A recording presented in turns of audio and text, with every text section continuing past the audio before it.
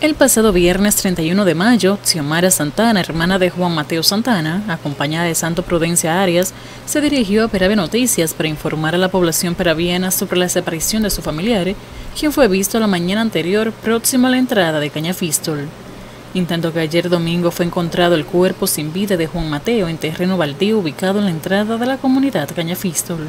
Varios agentes del Departamento de Investigación de Delitos Criminales acompañaron a la médico legista Denia Guerrero y a la representante del Ministerio Público para el levantamiento del mismo.